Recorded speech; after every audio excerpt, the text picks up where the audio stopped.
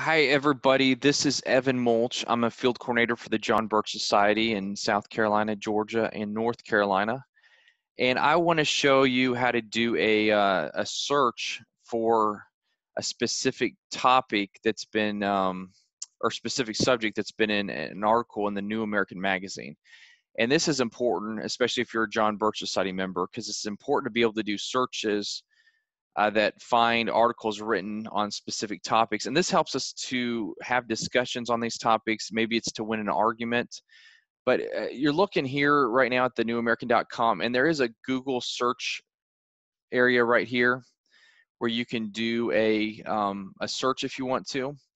Uh, but uh, we're finding out now that Google, you know, tracks you, and and so the uh, best thing to do is to go to DuckDuckGo and let's say we were to do a search for articles written on the New American Magazine website uh, that contain information about ALEC, the American Legislative Exchange Council. So I'm going to type ALEC here, and I'm going to type site colon the New American dot com, and then I have all these articles that contain the word ALEC that can be clicked on. This one's a really good one, by the way, if you've not read it. And it shows how ALEC is a group that is a it's a it's a corporate bill mill basically, and it's also behind the Convention of States project. So it's a good one to read to help you understand more about that. But um, the, John Birch Society is really the only organization that has articles on ALEC that provide information on how it's connected to the deep state. But um, anyways, um, take a look at, at those articles that are available. And then you can also go to Google if you wanted to. Let's say you didn't want to use DuckDuckGo. And you can compare the two. And in looking at each of them, they look about the same. So you're going to get about the same results. Let's try another one. Let's do deep state.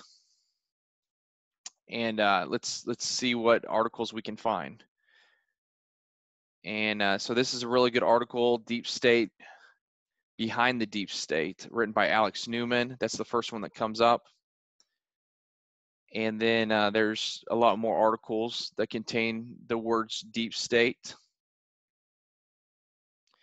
And I've done this on a Google search as well.